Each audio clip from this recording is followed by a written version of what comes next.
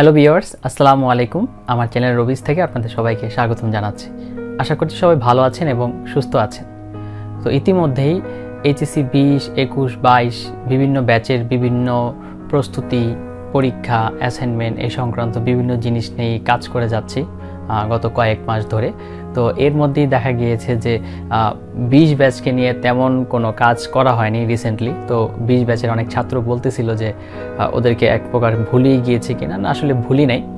তো সব কিছু যদি ঠিকঠাক থাকতো, তাহলে কিন্তু বিশ ব্যাচ এতদিনে তাদের পাবলিক বিশ্ববিদ্যালয়ে চান্স পেয়ে যেত অনেকে এবং সেই সাথে তাদের প্রথম সেমিস্টারের ক্লাসও শেষ করে ফেলতো। যদিও করোনার জন্য এখনও অনেকে পাবলিক বিশ্ববিদ্যালয়ে পরীক্ষা দেওয়ার এই সুযোগটা পায়নি।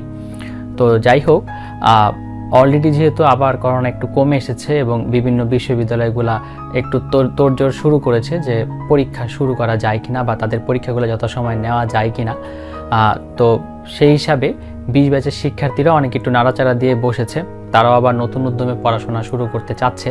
কিন্তু এর মধ্যে দেখা গিয়েছে যে আসলে অনেক শিক্ষার্থীরাই তাদের মনোবল হারিয়ে গিয়েছে টোটালি কনফিডেন্স হারাই ফেলছে যে অ্যাকচুয়ালি এখন মনে হয় তারা পরীক্ষা দিলে আসলে পারবে না বা তাদের আগের যে স্পৃহা বা প্রস্তুতিটা ছিল, সেই প্রস্তুতিটা এখন আর নেই।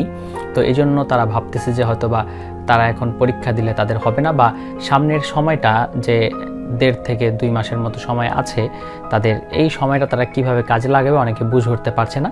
তো আমি আমার আজকের ভিডিওতে বিশ ব্যাচের যারা ভার্সিটি ভর্তি পরীক- পরীক্ষা দিবে, ভর্তি ইচ্ছু শিক্ষার্থী রয়েছে, তাদের উদ্দেশ্যে কয়েকটা কথা বলব, কয়েকটা গাইডলাইন দিব, যেগুলো তোমাদের সামনের দিনের সময়টা পার করতে সাহায্য করবে।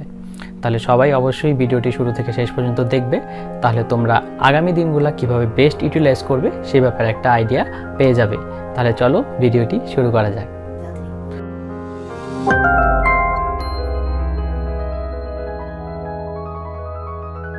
রিসেন্টলি কিছুদিন আগে তো বিউপির পরীক্ষা হয়ে গেল। তো এই পরীক্ষা দিয়ে কিংবা অনেকে না দিয়েও আফসোস করেছ।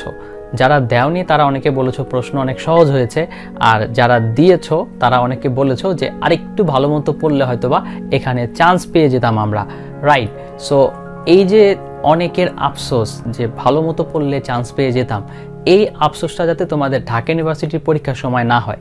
কারণ এরকম আমরা অনেক মেরিটাস স্টুডেন্টদের দেখেছি, যারা শেষ মুহূর্তে খাপ ছাড়া একটা ভাব দেখায় বা পড়াশোনা এক প্রকার ছেড়িয়ে দেয়, তখন কিন্তু তারা আসলে তখন বিশ্ববিদ্যালয়ে যখন কোয়েশ্চেন সলভ করতে যায় অ্যাডমিশনের তখন কিন্তু তারা গিয়ে আসলে আফসোস করে যে এই কোয়েশ্চেনটা তো আসলে আমি পারতাম বা এগুলো তো আমার পাড়ার মধ্যেই ছিল। কিন্তু শুধুমাত্র প্র্যাকটিসের অভাবে এই জিনিসগুলো আমরা ভুল করে এসেছি। তাই একদমই এসব ব্যাপারে মানে গাফিলতি করা যাবে না। সামনের যে সময়টা আছে, সেই সময়টা তোমাদের প্রপার ইউটিলাইজেশন করতে হবে। অনেকে প্রশ্ন করো যে, তোমাদের পরীক্ষা যথাসময়ে হবে কি না বা সামনে যে অক্টোবরে ঢাকা ঢাকা বিশ্ববিদ্যালয় এবং সেই সাথে অন্যান্য বিশ্ববিদ্যালয়ের পরীক্ষার ডেট দেওয়া রয়েছে, সেগুলো আসলে ঠিক সময়ে হবে কিনা? দেখো রিসেন্টলি কিন্তু বিউপি করোনা অলরেডি এখন টোয়েন্টি পার্সেন্টের মতো কিন্তু ইনফেকশন রেট আছে, এর মধ্যে পরীক্ষা নিয়ে নিয়েছে। এবং আমরা আশাবাদী যেহেতু প্রতিনিয়ত করোনা কমে আসতেছে এবং সেই সাথে ভ্যাকসিনটাও ভালোভাবে দেয়া হচ্ছে অনেককেই। তো আশা করছি অক্টোবরে কিন্তু তোমাদের পরীক্ষা হয়ে যাবে। সো অক্টোবরে পরীক্ষা হবে, এটা ধরেই তোমাদেরকে কিন্তু নতুন উদ্যমে আবার পড়াশোনা শুরু করা দরকার। দেন তোমরা প্রশ্ন করতে পারো যে আমার হাতে যে সামনে দেশ মানে দেড় মাসের মতো একটা সময় আছে, এই সময়টাতে কি আদৌ পড়াশোনা করে ঢাকা বিশ্ববিদ্যালয়ে চান্স পাওয়া সম্ভব? অবশ্যই সম্ভব। যদি তোমার আগে কিছুটা হলেও পড়াশোনা করা থাকে, তাহলে এই দেড় মাস বা পঁয়তাল্লিশ দিনও কিন্তু তোমার জন্য অত্যন্ত গুরুত্বপূর্ণ একটা সময়। এবং এই পঁয়তাল্লিশ দিন যদি কেউ সিরিয়াসলি পড়াশোনা করে, তাহলে কিন্তু অবশ্যই অবশ্যই সে ঢাকা বিশ্ববিদ্যালয়ে চান্স পেতে পারবে বা যে কোনো একটা পাবলিকে তার একটা সিট কিন্তু নিশ্চিত হয়ে যাবে। এর জন্য এখন কি করতে হবে? এর জন্য এখন নিজেকে মেন্টালি প্রিপেয়ার করাটা খুব বেশি জরুরি।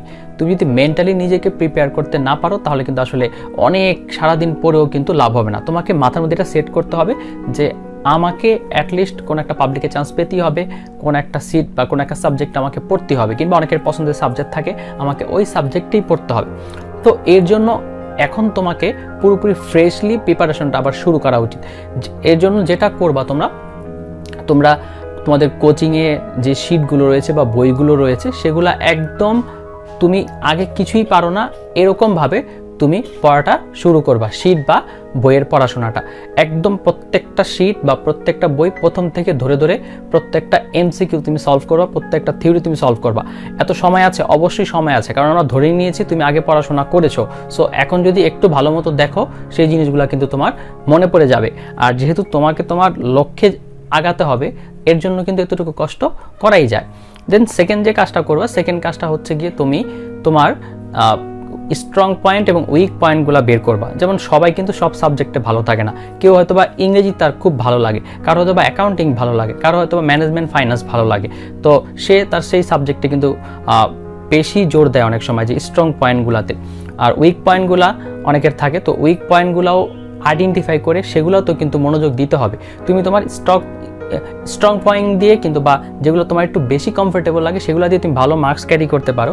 আর উইক যে পয়েন্টগুলো রয়েছে, সেগুলোতে একটু মনোযোগ দিয়ে তুমি যদি অল্প কিছু মার্কসও সেখান থেকে ক্যারি করতে পারো, দুইটা মিলে কিন্তু তোমার মোটামুটি একটা চান্স হয়ে যাওয়ার কথা। দেন থার্ড যে কাজটা করবা তোমরা, সেটা হচ্ছে গিয়ে প্রচুর পরিমাণে পরীক্ষা বা মডেল টেস্ট দিতে হবে। সেটা যদি কোনো কোচিং নিয়ে থাকে কোচিংয়ে দিতে পারো।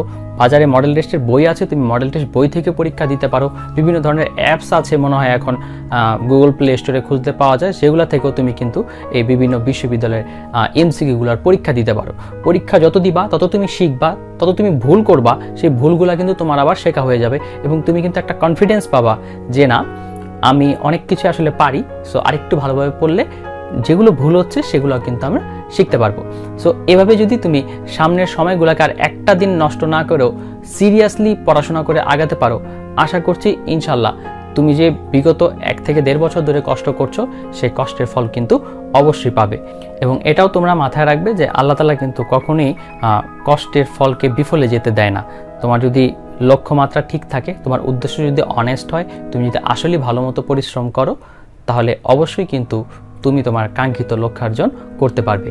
তাই যত ডিপ্রেশন আছে, যত হতাশা, যত দুঃখ, সমস্ত কিছু ঝেড়ে ফেলে তোমাকে নতুন উদ্যমে শুরু করতে হবে যে না, আমার হাতে আর দেড় মাসের মতো সময় আছে, আমি এই সময়টা ফাইনালি সবচেয়ে ভালো মতো পড়ে আমি আমার কাঙ্ক্ষিত বিশ্ববিদ্যালয়, কাঙ্ক্ষিত সাবজেক্টে পড়তে চাই। এভাবে যদি তোমরা আগামী দিনের সময়টাকে স্যার কাজে লাগাও, তাহলে আশা করছি ইনশাল্লাহ তোমরা তোমাদের যে কাঙ্ক্ষিত লক্ষ্যে পৌঁছাতে পারবে। সবার জন্য শুভকামনা রইল। ভিডিওটি ভালো লাগলে অবশ্যই একটি লাইক দিয়ে দিবে। আর যারা আমার চ্যানেলটি এখনও সাবস্ক্রাইব করেনি, সাবস্ক্রাইব বাটনে ক্লিক করে দিবে। এবং যারা ইতিমধ্যে সাবস্ক্রাইব করেছ, তাদের তো অসংখ্য ধন্যবাদ। আর তোমরা, তোমাদের রিলেটেড আর কি কি টপিকের ভিডিও চাও সেগুলো কিন্তু তোমরা কমেন্ট বক্সে জানাতে পারো। এবং অ্যাডমিশন রিলেটেড কোনো কোয়েশ্চেন থাকলে সেগুলো তোমরা কমেন্ট বক্সে জানাতে পারো। তাহলে আজকে এই পর্যন্তই। আল্লাহ হাফেজ।